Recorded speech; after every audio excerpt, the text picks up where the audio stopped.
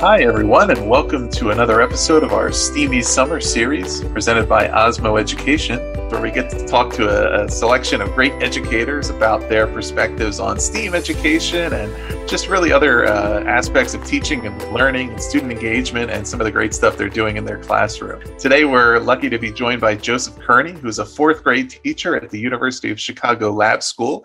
And Joseph is finishing his sixth year at the school after teaching for several years in Chicago Public Schools. And he's also, as all of our guests, an Osmo ambassador. So, Joseph, thanks so much for being here today. Oh, thank you for having me. I really appreciate it. So let, us get right into it. And I know you, you teach homeroom there at the school, and that's you know language arts and social studies and math and kind of uh, a bunch of different subject matter. And you also collaborate closely with uh, educators across the school that teach the other subjects in this you know STEM and STEAM and, and others as well. Um, what I, am really interested in talking about is what's the importance of that cross curricular learning and those teachers working together to kind of understand that these are not subjects that are taught in isolation. They're all important skills. It's part of a well rounded education, but we really need to view them as how they connect together. I think that is uh, the, the true way of connecting all education is actually using STEM and STEAM. Is that you know bringing everything together, including all the subject areas, all the disciplines, and I think that brings a nice flow to education when I know I get a joy when the students can talk about something in one class and then reference it in another class. And that's really when I, they get that aha moment. Like, oh, wow, like, okay, we did this. Okay, I see how this connects and relates to this. So I'm really excited about teaching and bringing those different subject areas together. Um, one of the things I like to do is plan closely um, at the beginning of the year with the different subject area teachers to find out what they're doing. So that kind of gives me an idea what I can do with my subject and how to incorporate their ideas with my ideas. Great. And we're going to talk about a variety of things here, but one of the things I know you certainly do in your classroom is you incorporate the Osmo for Schools tools and you um, kind of work with them in various subject areas and activities. What, what are some of the ways that you use the tools? Well, uh, for me, it began with math. That was like the number one when I first um, purchased my first Osmo kit. Um, it was several years ago. I had just had a daughter. She was four, and I saw an ad, and I was like, "This tool looks amazing." So I ordered that, and then I got it, and I practiced and played with her like all the time, and she was excited about it. And then I said, "How can I take this and bring it to the classroom?" And so at first I thought maybe it's too young, but I said I got to find a way to, to make it work. And thing I did was start right away with math. So there's one of the programs called Tangrams. And I'm like, this will be perfect for my geography. I'm sorry, geometry unit. So hmm. what I did was use the tangrams and I built a lesson around it. And so I had kids, we talked about the tangrams, the dimensions and shapes and how to create images using them. And then I had kids take the Osmo and I created a math center. So on Fridays in my classroom, I have a math center where kids will use one center will be with me where we go over work like um, things from the past or little um, lessons for the day. And then one where they uh, work on advanced materials and independent work and then one osmo.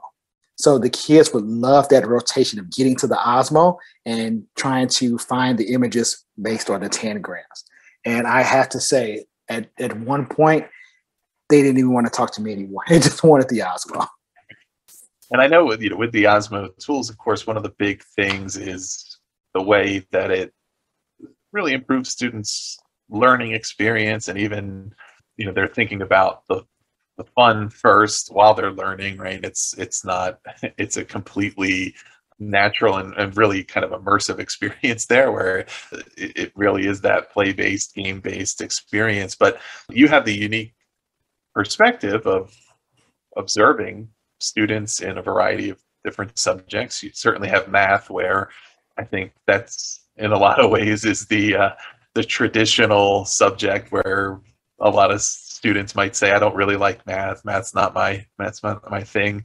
But it could not, you know, it doesn't have to be math. But is there anything particular that stands out to you as the way using like learning tools like Osmo is improving students' experience with subjects that at the very least may not typically be their favorite subject you know maybe it's not their least favorite maybe they don't even dislike it at all but maybe it's just not the number one subject that they love yeah so what i've seen happen is that when kids use the Osmo for a variety of subjects, their interest sparks more. They have more a desire to be creative and come up with an, an idea of their own. Because you know, using that game-based play, they're not thinking about the learning as much because they're like, oh, I'm just having fun playing the game, and then applying that to other situations without it. Uh, one I can really give a really good example of is a social studies unit, which I didn't think at first I could incorporate Osmo, but it, it worked out so well. So it's a uh, uh, Osmo has a one of their apps, and it's called Pizza Co. And it's a entrepreneur app where kids get to like run their own pizza company. So use a little bit of math, social studies. So I created this unit where kids had to come up with their own business. And so we like, we're gonna have a pizza company. They got to create ads and create a business plan. And they were like, this seems so hard, you know. And I was kind of explaining it to them because like, this is we're we're only in fourth grade. You expect us to come up with a business idea? Like, well, let's let's let's work it out. Don't don't go too far off for what I'm saying yet. So we worked together, and I talked about the requirements, and then used the Osmo Pizza Co to help them understand the process. So they had fun playing the game, learning about entrepreneurship, like paying for, like once they have their profits, they have to pay rent and buy supplies, and then having them work through all that. And then they had to create a business plan afterwards. So after they had played, they had a really good time kind of coming up with the plan and advertising. And they actually got to take it one step further by advertising around the school. Right. And so, and I know that you know, using the Osmo learning tools is not the only way that you promote student engagement in your classroom. And we had a chance to talk a little bit before we started recording about some of your other strategies, but I would love for you to share you know, some of the other ways that you like to bring student engagement into the class. Okay. Well, one of the ways I like to bring student engagement, I am a, a very big comic enthusiast. Um, I got actually turned on to comics from my fifth grade science teacher. And so we had, we were learning a unit on adhesives and she had the sticker book that had the comments on it. And it, she like every time you do well, I'll give you a sticker to go with it. And that kind of exposed my world. So I thought about how can I do that same due diligence for my students. So I um, use comics to help with reading a lot. Like I have a lot of reluctant readers who don't want to read standard novels. So helping them look at the images and talking about them for the future. Uh, really quickly, like him making some comparisons. So for example, looking at a group like the Fantastic Four, which are four characters based in science. So Mr. Fantastic flows and moves like water. The Invisible Woman's like like air. Human Torch is fire, and uh, Thing is earth. So using them to read this to kind of open up doors about science and to engage with students. As you know, comics and the movies are pretty popular right now. So I already have a nice fan base usually when I start the class.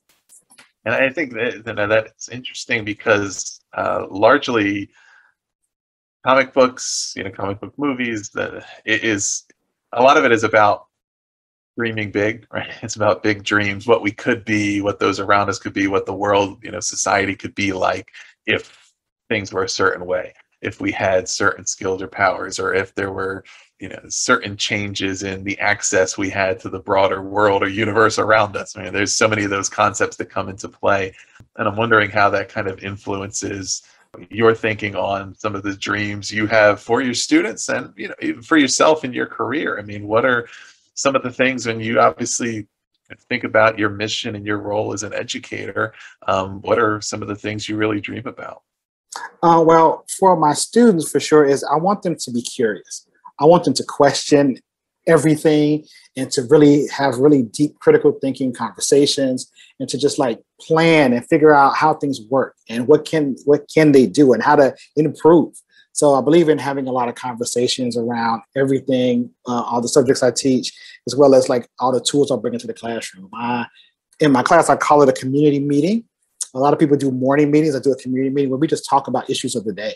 And so that helps them to get a pulse of what's happening in the world. We bring world issues like talked about protests, elections, and any current events and bringing all of that together. So my goal is that they'll be well, well educated to go into the future for any of their endeavors.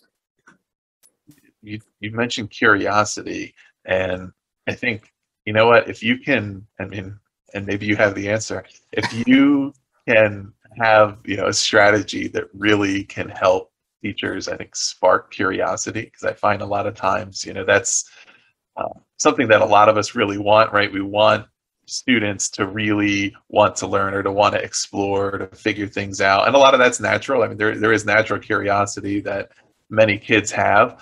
Um, but it's it's one of those things that maybe it's i'm curious about this and this but not curious about that other thing as much or um, or you know how does curiosity and interest um, you know, how do those two things balance? But are there certain ways that you really go about intentionally from day one saying look i'm, I'm really going to promote curiosity and really um, this is something that you know one of the main things i want to foster in my students and here's how i do it.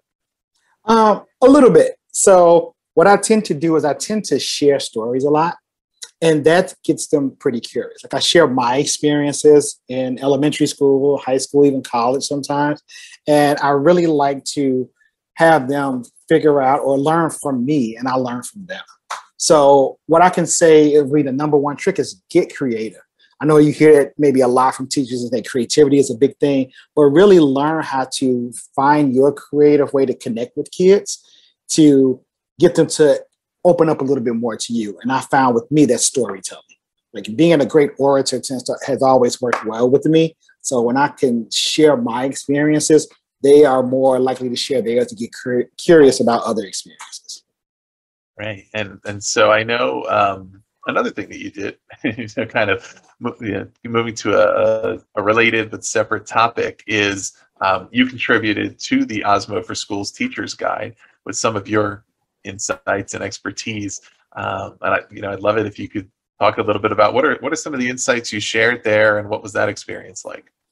Uh, it was a wonderful experience. Um, I got op- offered this opportunity last year, and it was kind of like the perfect preschool pandemic release.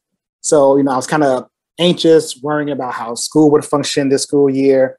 And then I got offered the position to create some lessons for Osmo. And I said, oh, this is great. This is what I do. This is one of the fun things I enjoy about teaching.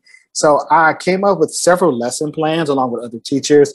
And I just shared some of the things I do in my class with different subject areas and how teachers could incorporate that into their lesson plans or curriculum pretty smoothly.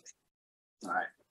Does some of that, what you were able to share there, and, and even just the strategies you've developed over the years that you've been using the Osmo learning tools in your classroom, and I know you initially um, discovered Osmo you know, for your daughter. And so, and then you kind of learned how to bring that into the classroom as a teacher. Did you, I guess, some of the ways that you articulate and explain some of your strategies, did some of that evolve in the same way that your understanding of it evolved because you used it first as a parent at home and then mm-hmm. you of course have refined your teaching strategies over time and said okay i could see there's a lot of promise here for these in the classroom but i'm sure each year you've learned something new something new. You know how did your experience of first discovering osmo as a parent and then using it as a teacher maybe uh, inform the strategies you ended up developing in the Cheering and Teacher's Guide for, for other teachers who may have a similar experience. Maybe they're already familiar with the tools uh, in another context and they haven't used them in the classroom yet, or they haven't developed their own classroom strategies yet, but they want to kind of learn from others. Yes. Um, so, what I decided to do was not get complacent and try to find a new way to teach something every year. So, same thing, like just like a, a new parent has to kind of figure out what to do is like a day by day basis. So right. I had to kind of tweak my lessons to fit the class. Because uh, I had some kids who weren't interested in any kind of tech or gaming things. And like, how can I still get them excited about this even though they didn't want it? So some of the strategies I would use would be to take a lesson and modify it, like for kids with special needs. Like they may not be, cannot engage as fully as some others. So how can I modify that? So maybe taking one of the games and doing a portion of it or doing something on one-on-one basis and then showing them the bigger picture and have them try to tell me how they would like to use it. So sometimes doing a survey with the class would be is another wonderful way to experience like, oh, let's try this. I never even thought of that. So Joseph, we're now gonna we're gonna go to our final two questions here that we're going to be asking every ambassador who participates in this series. The first one is look, it's that hot, steamy summer. we're all oh, thinking yes. about ways to beat the heat. What is your tip for our listeners to beat the heat this summer? Uh, one of my my hot tips uh, I'm very fortunate to live in Chicago, and we have a really nice lakefront. So taking a ride with the windows down might be my favorite song playing, blasting it, and just cruising. And that's just love that to just, you know, relax, just zone out for a little while. Also, if you can get by any water, please do so. Hey, do you at least get a nice breeze coming off? Yes, there's a nice, lovely breeze. Even on the hot days, it feels really good. Yeah, yeah, that's. I mean, I think that's a good one. And then our our final question here, uh, if we're thinking about, and and I think we're going to have a variety of listeners here, some of whom maybe haven't tried out the Osmo tools yet, some of whom may have been using them for a while, uh, but everybody's looking for new ideas. What is your number one hot tip for you know, using Osmo for schools in the classroom next year? I'll say the number one tip is like I have the most response from this one. It's usually using the Words app. It's a spelling based game, and they just updated the Words app to have more variety in it. And I say if you start off kids with that, uh, even the reluctant spellers will have fun playing a game and kind of sometimes making it competitive is a good way to jump in.